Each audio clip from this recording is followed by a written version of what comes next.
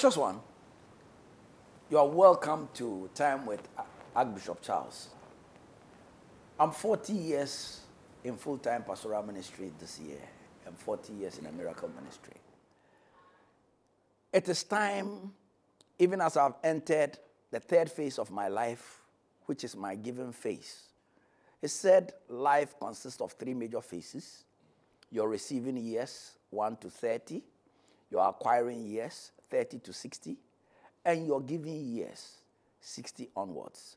In this phase, I want to communicate and share with the young generation some of the things I've been through. Not only am I sharing in this documentary series, I've invited seasoned men and women of God who we've connected over the years to also share some of the things that will help the upcoming generation. It's very important. When I got saved, one of the things I did was I read a lot of biographies and autobiographies. It helped me know what God did with people, when He did it, at what age He did it with them. And so for me, this series is a very strategic and major one. And today, I have a very anointed man of God, a seasoned man of God, a man I've known for about 37 years. This man is no less a person than the former chairman of the Fountain Gate Chapel. He is also a seasoned agriculturist. Today, we are going to hear from Pastor Clement Anchebah. Pastor Clement Anchebah, you are welcome. Thank you very much, Archbishop. It's nice meeting you. Here. Yes, yes. This yes. year, this is our first year. Yes. Great, sir. It's good. Anytime we've met, it, has been a blessed time because Amen. we go a long way. Amen. However, before we get into digging into our past, yes. Um, can you tell us who Pastor Clement Anchebah is? Oh, all right. Well, my name is Pastor Clement Anchebah, as uh, the Archbishop has said. Uh, I'm a pastor with Fountain Gate Chapel. I was the former chairman of Fountain Gate Chapel. Uh, I'm still working on Fountain Gate Chapel. I'm a head pastor of the Ofankor branch of uh, Fountain Gate Chapel, which the, the church is called Gate Pastures. That's where I am. Uh, I'm married with four kids and three adopted children. Most of them are out of the house now, married, and uh, we are becoming grandparents. Uh, we are still in ministry and we are doing that. This is the least I can say about myself. uh, I think as we go on, you'll get to know many things about myself. Thank you. Amen. Pastor Clement, yes. we met uh, in Tamale yes. those years. Can you share a little bit about when we met and how the relationship mm. has been? Mm. Yes, I think I first met you in Bolga when you came to speak for Pastor Isu.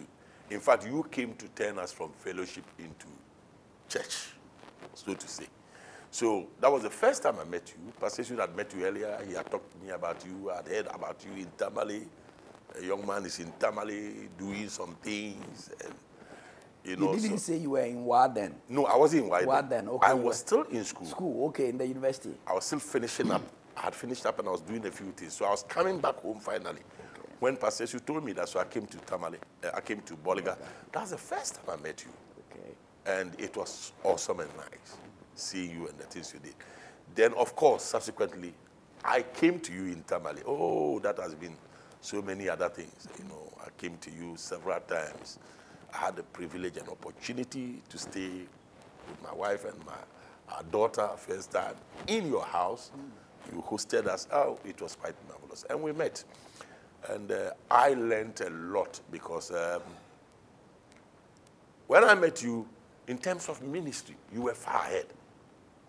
I was from school going to ministry, so I looked up to you and learned a lot because you were completely far ahead. You knew so many things about ministry. So for me, it was a great honor meeting you and learning. And I realized that in ministry, you just need to learn from people. And you were one of such people God brought my way. And I learned a lot. So that is how come our, our meeting in Tamale. Of course, there are other meetings we met and we rejoiced. Uh, I'll talk about that as we move on. And uh, some of the new things that came into, especially in your life. Uh, I will never forget the one I just came. I was from Yendi. My brother, my senior brother was in Yendi. So I went there and then no phones those days. So I asked, they said, you were living in Vitim. I said, let me pass Vitim and greet. Uh, uh, uh, those days we call him Pastor Charles. I got there, you received me so well, we went the house. And the first information you got, you told me, it was a Saturday, I think. You told me that, oh, you have just received new sets of drums. And we sat there. He said, oh, they should come and set the drums. Because I have never seen new set of drums before. And they came and set up these drums in the hall. We all looked at it. We rejoiced, and it was packed back. The following day, we all had to go to church and had to stay and be there. So it has been one thing after the other that opened us up to whatever God is using us to do. And Bishop, Archbishops, I beg your pardon, um, you have been that inspirer. We, I will never forget that. And I'm grateful to God for meeting you and your wife. Thank you talking about the drums, uh, before we got those drums, yes. We had a certain set of drums. You want me to the, talk about the that? locally made yes. drums. We yes. call them tamale made drums. Barkesi. Barkesi, I tell you. And, and, and, and, and you know, those, those were the ones you were using. So that was why it was, it was so much of a joy. No, describe it. How, do, because... Those drums, you know, Tamale people just imitate. They try to do these drums like they do. And they try to produce their own. And uh, they sounded not very good, but uh, at least it produced the sound you need. And you had that. And anytime I came to Tamale, that's what we used. Uh, I will never forget the Ahuja speakers, which, which served.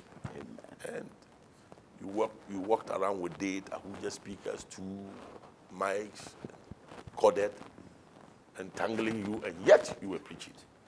And I remember, you remember, those were the Ahuja speakers you sent to me in Wa. Okay. And that's, that is the first instrument I used in Wa. Mm. I was preaching with my mouth like that, no sound, nothing. We didn't have a drum. We only had a, had a. We clap our hands. And I came to you, you said, you have some drums to send to us. And you send them to us. We receive them with joy. we receive them. The Ahuja speakers, I used them until I had to also give them to someone when I got my own. But that has been the history. And uh, Bishop, you so began. We, did, we didn't just happen. No, it, we didn't just happen. You know, um, many, and as we are talking, a lot of people will be, especially young people.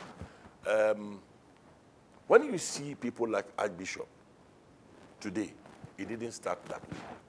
Tamale was a really dry place. And I believe I'm encouraging somebody. You just need to understand it didn't start this way. Uh, sometimes you see them up there, you think they just got there. No.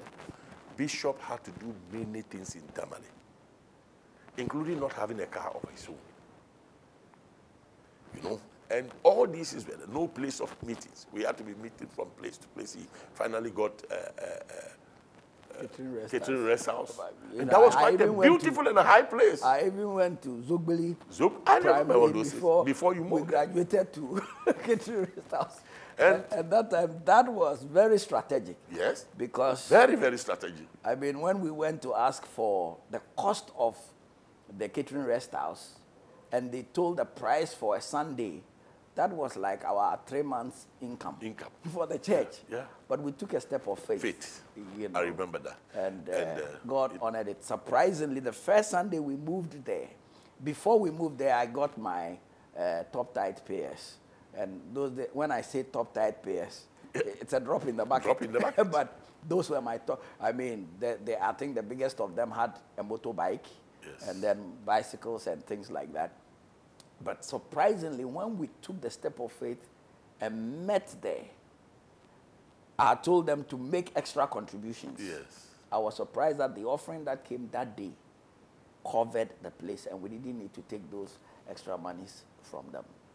God was merciful. That is the story. that is the footprint of ministry that God has taken, especially for me. I think uh, one of the things everybody must know about Archbishop's ministry is where he started. Tamale.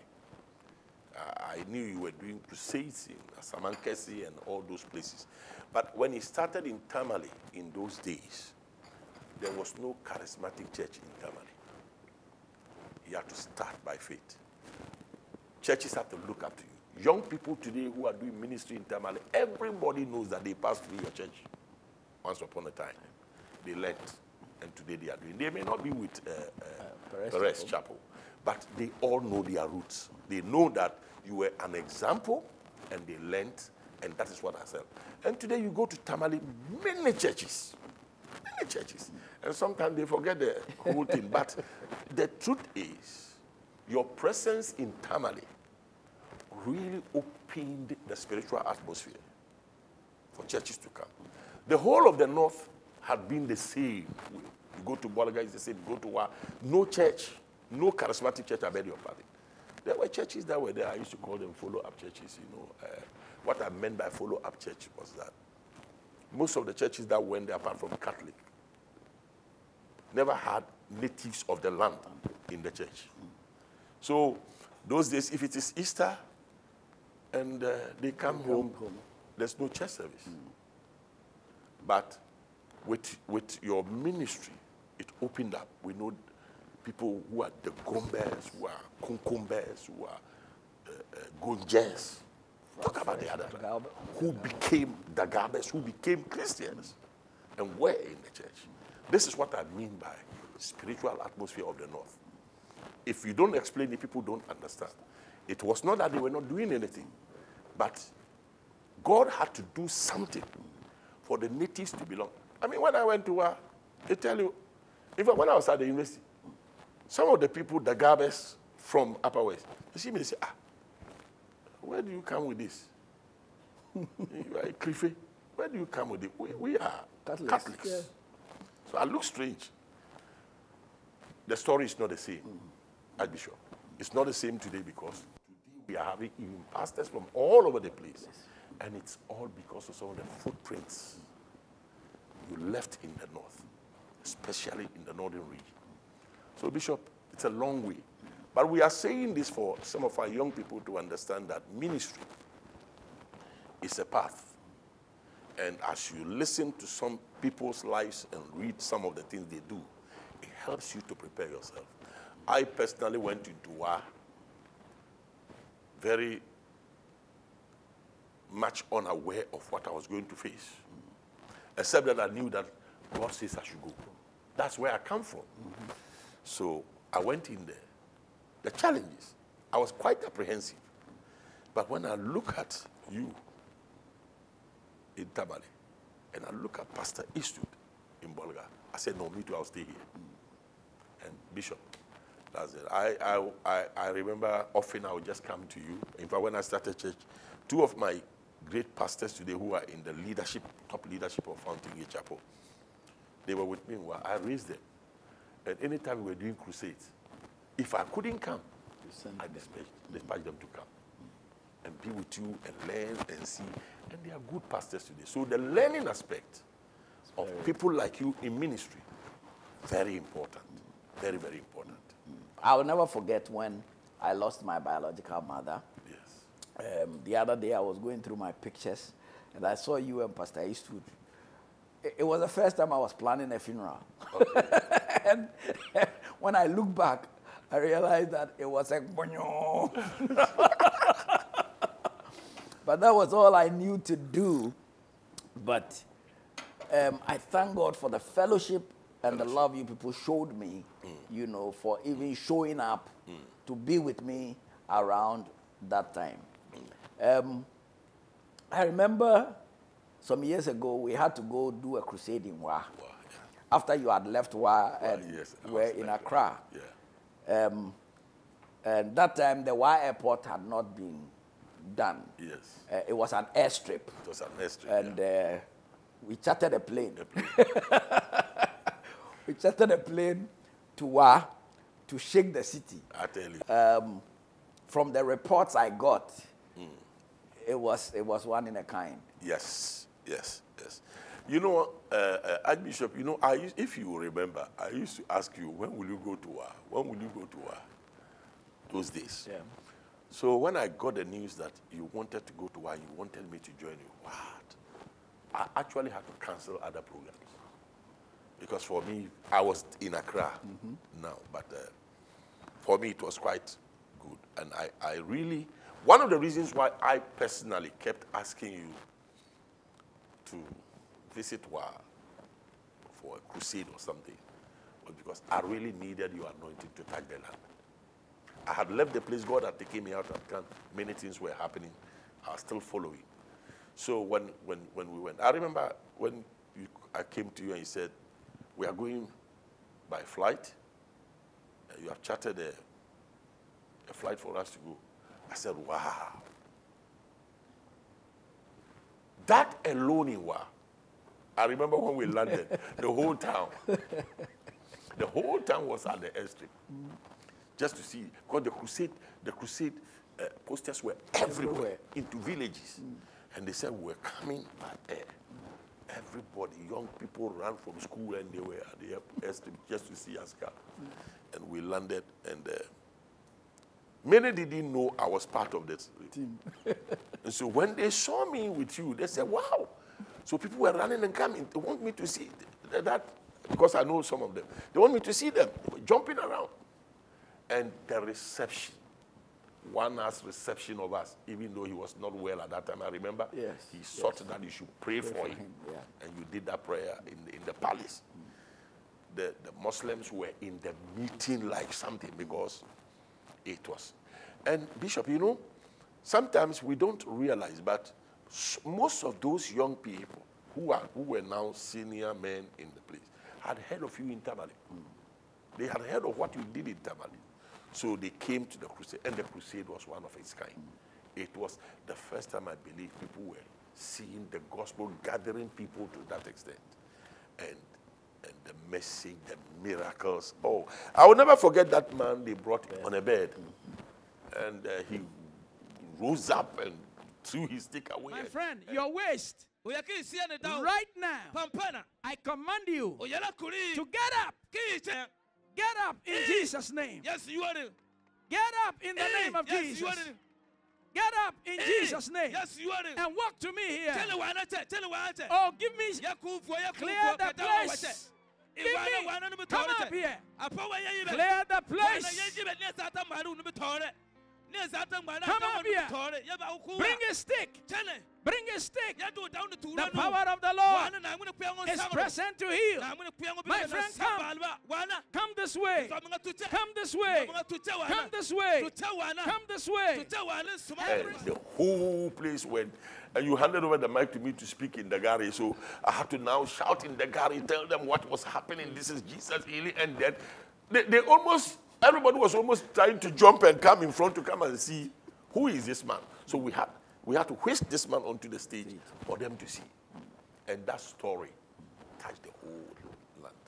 And so that crusade really, for me, uh, coming from that place and knowing the kind of things that are there, it really did a lot. It broke the back of Satan's work once and for all and took the church, of course, that time churches were there, it gave the church a certain level of height for them to move because the name of Jesus was proven by the single miracle they saw that day. And then subsequent days, Miracles. miracles took miracles. place. Yes. And people were coming from everywhere. Up to today, they talk about that crusade.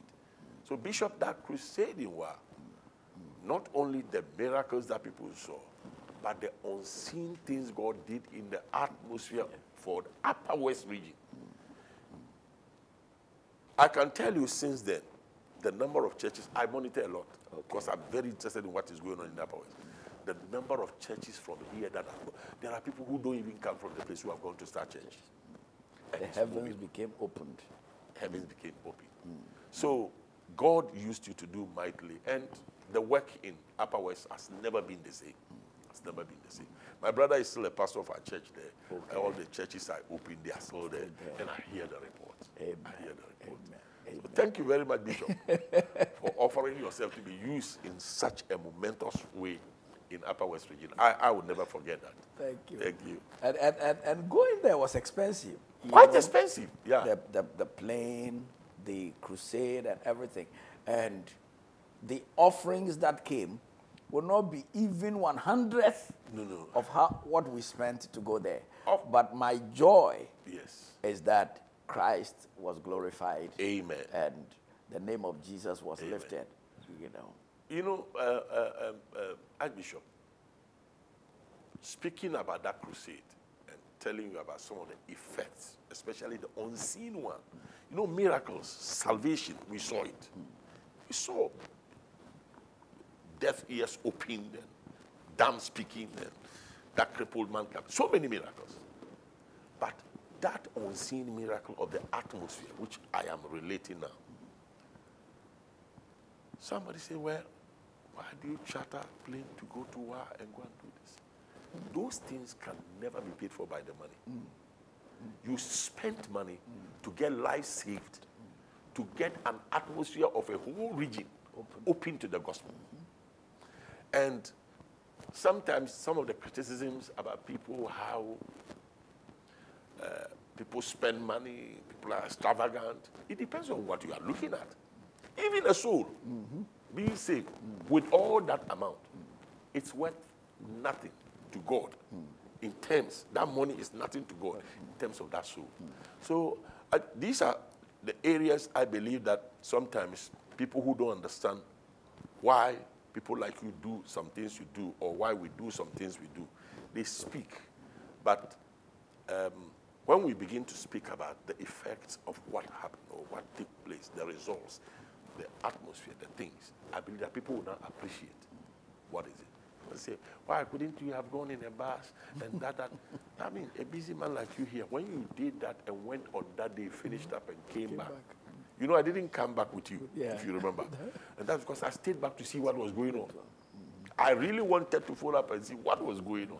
And, and it, was, it, was, it was such a marvelous one.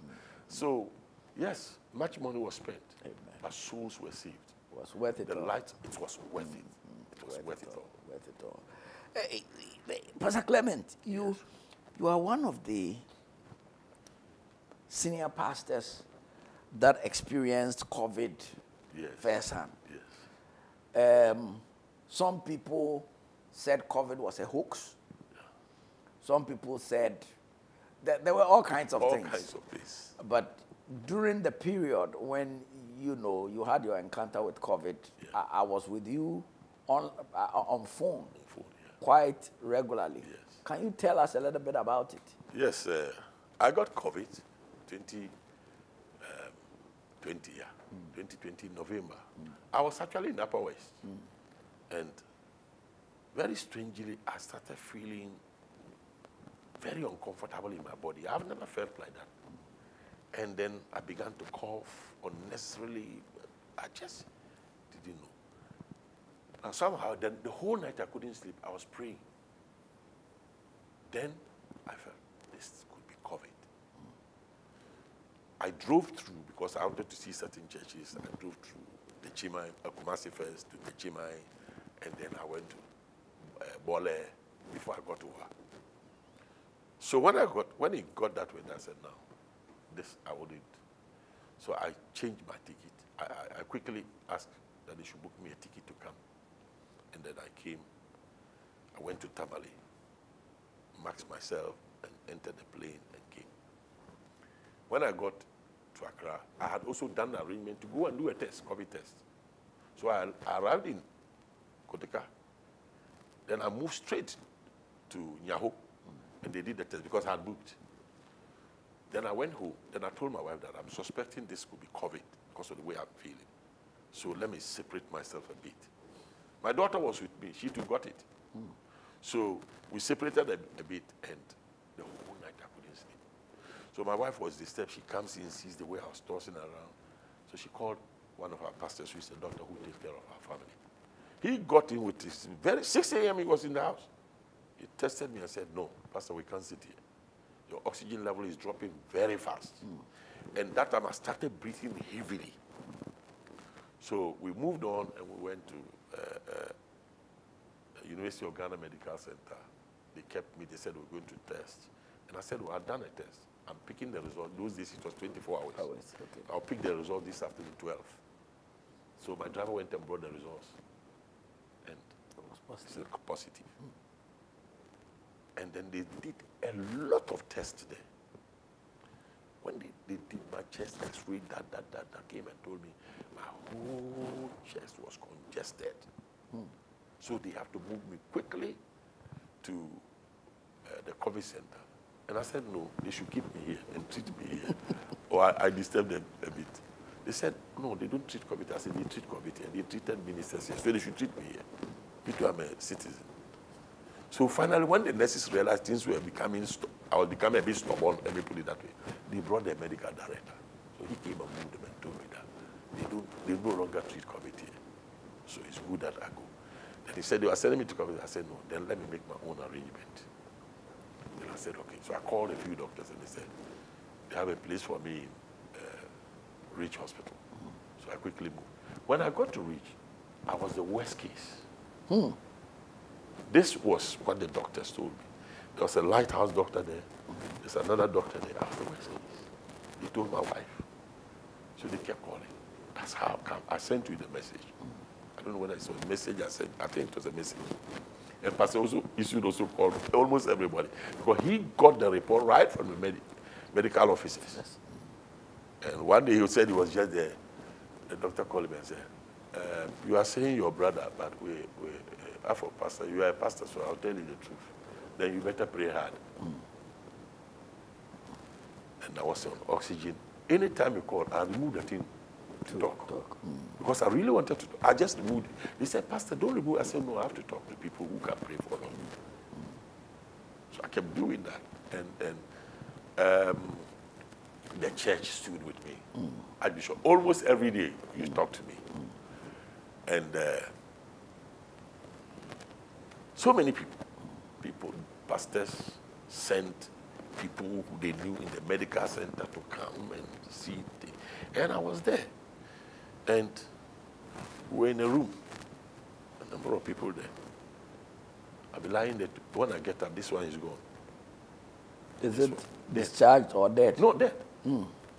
Bishop, the And you were the worst case, but you were still there. still there. And they were dying. They all died and left. I was the only person left in the place. Child. So God at a point, my wife was disturbed. My wife was always sitting at the hospital, morning from 7 to, uh, from 7 a.m. to 5 p.m. She will be there. Uh, meanwhile, you can't see me. I can't see you. Then she will come and be sitting there. I had this phone. That was my WhatsApp phone. And if you remember, that's what you used to call me on. I only put it on music. And then I'll listening. Sometimes I sleep, I get up, struggling the breath. They'll come and change the oxygen. This one is not working, they'll bring another one. And I was there. But this thing was not a hoax. Hmm. It's a real. It's real. You are, you are, that was when I understood this song, Goodness of God. Hmm. Every breath That I take. that I take. Hmm. Because you breathe and it's like you are breathing and they are giving you some of what you need, but you can't get the rest. Hmm. That's how the COVID. That's the way it is. You, you pull in the air and it's like it's finished. Hmm. So you know you haven't had sufficient air, hmm. but the little that must go, you force it go. And so you are quickly trying to get more. I don't know how to describe. It's like you are suffocating, mm-hmm. sort of. And the pain in the body. You can't sleep. Of course, that was where other things come in. Okay. And the doctors told me that most of the times, if it's just that only thing, they can use the oxygen to sustain you. But all kinds of things within your body, because your immunity is gone down, come up. He told me, I've never had a problem with sugar. He said my sugar was somewhere. Pressure, somewhere. So for me, it was the two things they were battling. Hmm. I'll be lying down, they come and say, Pastor, your pressure is too high. We have to do something. Your sugar is too high. We have to. Then they go and ask my wife. I said, my husband doesn't have sugar problem. Then they were battling with me. Come and give me this injection. Give me this injection. And of course, I, I really struggled there. But every day I saw. One thing that I, I thank God for, somehow, I don't know, and I believe it's a prayer, in my heart of heart, I knew this. I was not die. going, I won't go anywhere. Hmm. When, I, when I lie down, they think that uh, I'm going nowhere. Hmm. I'm coming back. Hmm. And it was so strong in my heart. My mind never wavered, my heart. I was so strong in that. And I Because that, that persuasion that you shall not die mattered a lot. Now, when you came out, you said something to me. You said the doctors told you that now that you have come out, it's another battle. yes. Because now, when you, when you wake up, you are weak. So can you, can you, Yes. because you know, the COVID, after COVID effect, it's one of the things Pastor Isu talks to me almost every day. Mine is a miracle. I don't know how. okay. I came home, I was still struggling. It's as, as if it- it's gone, it's not gone. I had to buy my own uh, uh, oximeter and uh, think I come down, go up. And I called the doctor and say, oh, okay, so it's all right, you rest, don't do much things, get up. So, but you, you, you keep, you get up, you're tired.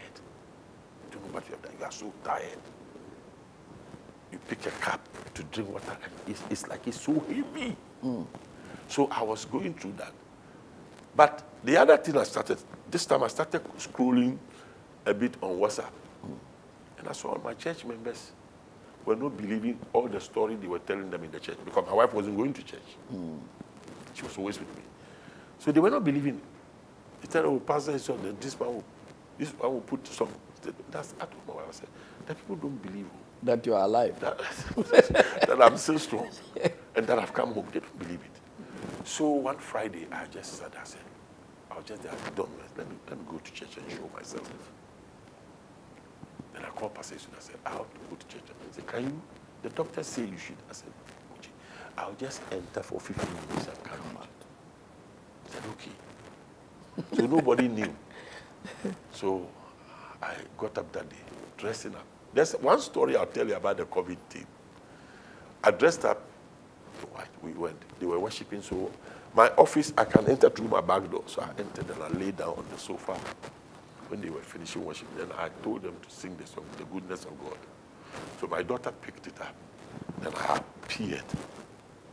The whole church crying, falling down. People were lying down, rolling. I was standing, I didn't know what to do. So I joined the choir. In fact, climbing up to the stage was a problem. They had to hold me to climb. Then I joined the choir, sang the song, picked up the song myself, sang the song. Think that was the breakthrough of my life. Once I was there, I felt strong. My talking. So I told them, look, I am supernaturally touched.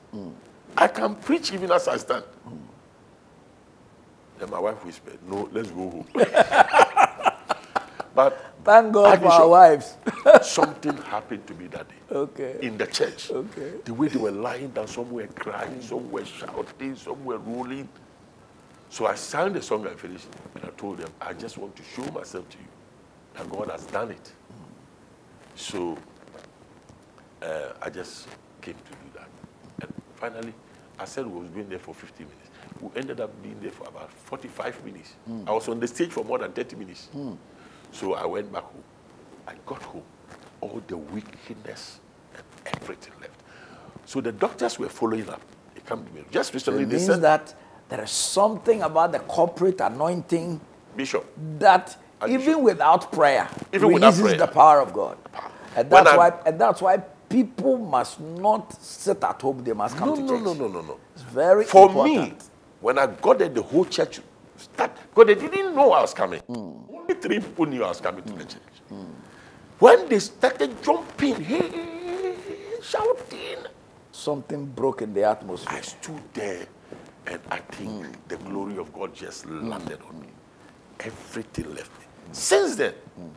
Archbishop, that's how come. The doctors tell me a lot of the effects people are. In fact, two of the doctors who treated me, uh, the Lightheart Bishop, who is now on missions in Uganda, and then another doctor, the Dr. Adipa, very popular in that place, um, and some of the uh, pharmacists who were, this COVID, the pharmacists were there medicating on routine check to make sure that they give you the right thing. They came to my church on Thanksgiving Day. Okay. Okay. the, one of the doctors broke down in tears. He said, my case is a case they cannot understand because they uh, were expecting the progression. But it became evident that I'm so touched by God and I'm healed completely. So, Bishop, that is the thing. Bishop, during the COVID, there's one thing about the COVID people don't know. You know, when I was getting a bit better, one day I got up and I told them I, I used to get up and walk around. Then when I'm feeling dizzy, I quickly go. One day the nurses came and I told them I want to shower. They said, Pastor, you can't. I said, Oh, I'll just go in quickly. And They said, No, you can't be out for about 30 minutes. I said, I won't get to 30 minutes.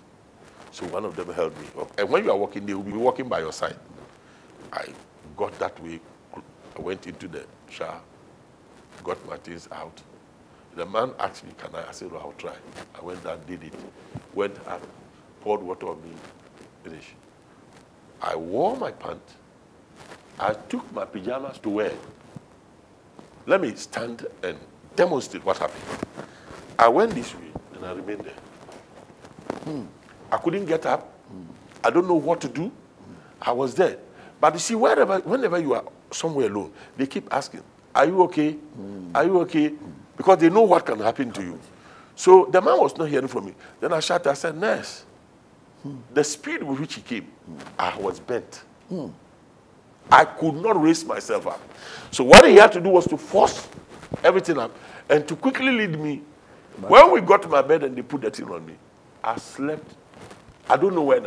I, I think when they immediately they put on me, I was I was asleep. So they stood around me thinking perhaps You were gone.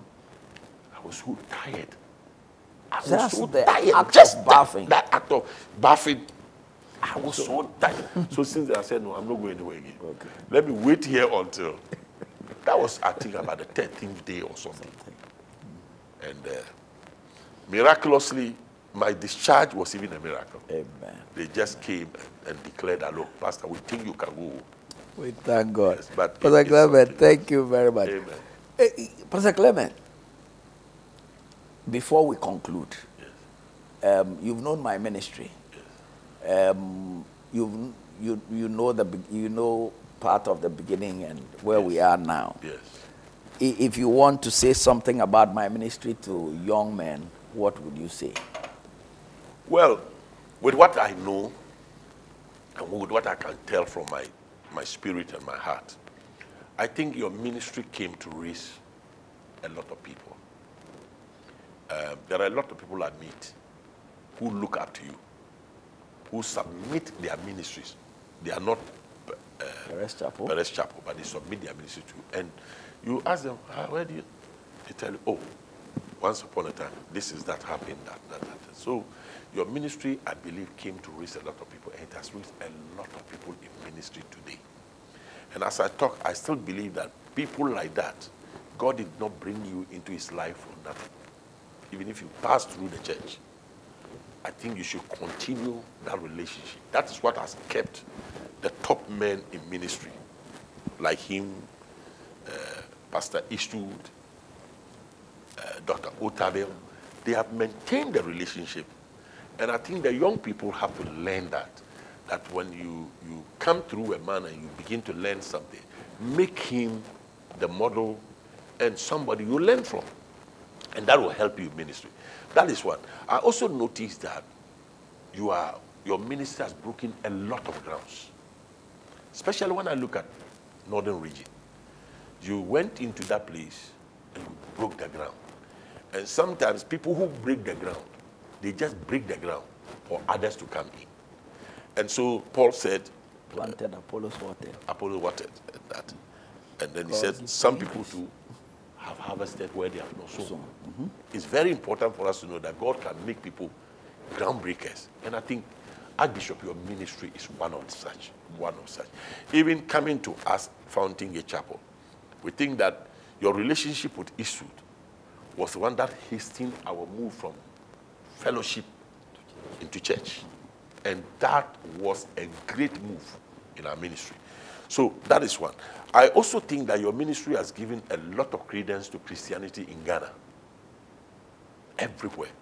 Credence in the sense that the miracle working power prove to people to believe in the gospel of Jesus because they can see tangible miracles. I will not forget uh, your 30, 35 years. 35 years At the Independence at Square. Independence Square. This soldier man, Okay. a Muslim, Okay. who had this accident and came up. I mean, the way he spoke boldly, I was crying. was crying. Accident last year, motor accident. Uh-huh. He could not stand like this. He could not walk. For, for how long now? February is exactly one year. February is one, One year. year, And after the, after the surgery, they said three months you should walk. You I'm couldn't walk. nurse. I'm a nurse. You are I knew a- I should walk. A military nurse. And you knew you should walk. This is how you came. Oh, oh the, the soldier man is crying. Give the Lord your a mighty name- clap oh, offering. Jesus. God Every has praise, touched every Raul. hallelujah. God has touched Raul. Okay, Raul, show me how you came. Show me how you came. This is how you came. This is how you came. I can't fast This is how you. you came. Now give me the sticks. Give me the crutches. Now let's go. Oh! Awurade- Awurade ayɛ bi. I mean, it, it gave credence to the gospel that the gospel of Jesus is the message people must listen to. And, and, and, and that is one of the things. And, and Christianity, credence to Christianity, that Christianity is the way people must go. In the north, that was one of the messages that went out because people who came into your ministry and saw the miracles and the healings and the crusade, the things that happened, just knew that Christianity was different. One other thing I will, I will, I will say your ministry helped to shape Christianity in the north is that, and this is not to say that uh, Catholic Church hasn't done anything. Catholic Church has done so many things. They've been able to keep The name. the name of, of Christ. Uh, when I went to Israel, I really thank God for Catholic Church because I realized if they were not there, most of the sites would have been Yeah. Missing. missing. So that is not to say, but at a certain level, people's lives in Christianity have to go to a certain level. And I think your ministry helped to do that for most of the people in the north who, quote unquote, were Christians, and yet they didn't have something what I call the practical Experience. experience of Christ. It opened them to say, oh, okay, so this is what I'm playing with. This is what I'm joking with. I say I'm a Christian, but I don't know that the power in it is like this. So they woke up. And to be very frank with you, I know people who are in the Catholic Church in Upper West who, because of signs and wonders and miracles, have changed their lives in some way. They now believe that this thing is. Hitherto, some people go to church, still visit. When they want power, they go to that. But now they know that no, I can get the power in the, church, church. and people can pray for me. And we had several of those people who come to our meetings. They were still in the Catholic Church, but they would come to our meetings and say, Pastor, pray for me. Pastor, this is happening. I, wa- I need prayer. And that's because the miracles in the crusade gave credence to Christianity as the way of life. I don't want to call it a religion, but for your sake, as the religion, they should really hold on. So many of this. So apart from the people you have raised, apart from the grounds you have broken, this is one of the things I personally believe. We used to, we used to call you, I don't know whether you, you've heard people call you that before. We used to call you the Benny Hinn of, of Ghana. Okay. Uh, that, that was a, a, a, a name we gave to ourselves within Fountain Gate Chapel. Said the Benny Hinn of Ghana. I mean, because miracles were introduced into our, our lives and Christian lives, I think through the ministry God has given as a, an apostle he has raised in that aspect. So you've touched a lot of a lot of lives. The- I, want, the- I want to okay. say this one thing. There are a lot of northerners today who are very committed, especially when I talk about the Dagabes, who are very committed. And they are doing wonders, and I'm always grateful. When I look at a number of them, I trace them to your ministry. They are friends to me, we still talk, we do. But I trace a number of them to your ministry. And for me personally, that's one of the things I acknowledge so much because Upper West is dear to my heart. Amen. So, Uh, Pastor Clement, yes, sir. uh, uh, uh, before we go, one of the things you've proved is that you don't have to be number one to have impact in ministry and to be successful. Now, the building you have built at Ofankor is a mega church anywhere in the world. I mean, I've been privileged to speak there, apart from seeing it. And amazingly, you put it on a hill, and a city on a hill cannot be hidden. But that is an awesome work. I mean, I, I, I've been to building, so I know what it takes to build something like that. But you've proved that you don't have to be number one. You are not the number one in Fountain Gate. Yes. Um, you've, you've supported Pastor Eastwood since I've known you, and eh, you've, you've gone around the world. In this country, um, you hold your own. Um, you know, for young men out there, I want you to say something about their understanding that you don't have to be number one to make impact. Bishop, women. that is that is that is uh, uh, uh, a great observation. I think that's one of the big problems we have uh, with our younger generations. And uh, like Bishop said, I'm not the number one. Uh, Pastor Isu, uh, we were in secondary school together. He was my junior, one year junior to me in secondary school. Uh, we were close in secondary school because he used to come. Pastor Isu has always been somebody who wants to learn ahead. So he would come to the seniors to learn. And I was one of the people because of science. He would come to me. Um, but when I got born again, I got born again after secondary school. He didn't see when I got born again. And then I also never saw when he got born again. Then we met at the university. I was told he was in the university and that he's giving his life to Christ. I was going to help him. That's what I thought because I got born again two years before him. But when I met him at the university, we became very, he too had heard that come. We met, fortunately, we're in the same hall. We met, we talked. And he said, Oh, he had heard I'm born again. But I went and he was doing so many things ahead. There I realized that the man has something God has put on him. The number one thing I had to agree he's younger than me. He was my junior in school. I gave my life to Christ first. But when I saw the things he was doing, I decided to help him, to, to be under him, and to help. Uh, fortunately, I became the secretary to the, to, the, to the fellowship. He was the president. So I worked under him for some time. And then our vision started coming. The vision started coming and we're supporting it. What I told my wife when we met, and incidentally, my wife was one of his, his converts in Upper East. When we met, I said, Your father is younger than me. I got born again before him. But I can see something that is on him. So for me and you, let's submit ourselves. I used to tell my wife, and Bishop, this is my statement. I used to tell my wife that it looks like Pastor Yeshua is 20 years ahead of me in terms of the things of spirit. So let's be here. Let's work with him.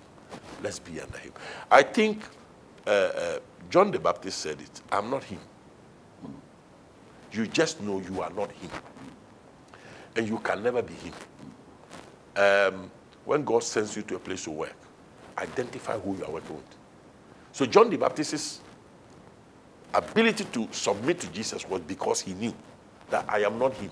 But who are you? I am one making noise. But he who comes is greater than me. You just have to know it. I think that is where, if a man raises you, you may carry some anointing and do many things that may look. My building is bigger than Pastor building. But that has nothing to do with the anointing he carries. So once you identify that, then you know what to do. The other thing we, we have to learn a lot of us surrender, but we are not submissive and we are not yielding. After surrendering, you can surrender. Everybody will see. For example, when we go to war and they capture mm-hmm. enemy soldiers, they surrender. Yeah. But you know that when a man surrenders, even if he gets you, He will kill you. he will kill you. I think we must go beyond the surrendering to submitting and then to yielding. Yielding comes to the place where obedience is number one. There are things when Pastor Yesu says, I may not agree with him, but I tell my wife, let's keep praying. If it is of God, it will be. When he was moving me to Accra, it was quite a battle hmm. for my wife. But as for me, when we spoke, because I've always, I, I used to believe that God was sending me to the Dagabas. So that's what I'm, I'm going to be. But when he analyzed the whole thing and told me, I said, please, if you think that's the best, I'm ready for it. They said, well, that, that's what it is. Today, as I sit with my wife, we believe that it was of God. But before, it was not. you know, we thought otherwise. So sometimes, and what I tell people is that it doesn't take two people to lead a ministry. Takes one. The rest of us will have to support. That's the way God does it. That's the way God does it. I tell people if you go to somebody's private company to work, even though Christianity or ministry is not private, you will see this particular principle there. So um, that's what ministry does. Ministry is led by one. Anything that is led by two people, two heads, it's a monster. It's one head. And sometimes the head, where he sees, you cannot see it. So I don't argue with things I do not agree with, with Pastor Isud. I don't. I submit my thing, put my thing aside, and keep praying for him. There are times Pastor Isud will go and tell you, oh, but I think this thing, we shouldn't have gone it like that. Once it is his decision, it worked for us. But if I had opposed it, it would not work for us. So I, I, I think that is one, and the understanding that we cannot all be the leaders of the ministry. One person must be, and we will all have to work. Everybody find your level, and when you find your level, God will honor it. I think one of the things God has done for me, which I'm grateful, is that when He gave me that heart and that understanding, and I submitted to it, He honored what I did. I never do anything beyond or, or against what He says. I deal with my heart. Let me tell you this everyone who is a follower, what will help you is your own heart. Deal with your heart, and all other things will not be able to, to affect you negatively. The truth is, find what God has put you in the ministry to do, and you'll be satisfied. If you try to do what you are not supposed to do, you will never be satisfied. That's why you have your problem. I wasn't even the number two to Pastor Eastwood because Pastor Eric, whom you know, was the number two. Okay. I was three, four, somewhere there about. But gradually, I became number two because when he was handing over, I took it. But I still honor Pastor Eric. I just went and visited him in Navrongo, Okay. my wife and I. You see, honoring a man has nothing to do with your ministry, whether it's small or it's big. Hmm. God can give you an anointing. It has nothing to do with that. That is why it is said by many people that uh, uh, Elisha did twice because they tried to count the miracles. Uh, but twice the miracle doesn't make him have the higher anointing than Elijah. Elijah. So when Jesus appeared, it was Elijah who was with Jesus, not Elisha. So, but Elisha, Elisha did his work. And I think that is where our young people have to know that God will give you somebody who will have to raise you. Never try to go ahead of the person. It doesn't work. You may not see what the person is saying, but if you believe it, God will honor it. God will make you bigger in your own room. So um, there's nothing I'm doing over there. I don't even discuss with Pastor. I discuss it with him. Abuchida. The building plan, I took it to him. He prayed over it. Whatever. Amen. So you, you, that's what I believe we should do so that God. You can be down there and still be who God Thank wants you. you to do. Because when we go to heaven, it's not what we have done. God will ask you, what I ask you to do is not what you went and did. I put you here to work like this. Did you do that? It's not about you went and did something. Pastor That's Clement. I can say.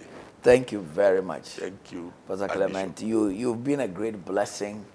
Um, thank you for making time to be with us Thank you.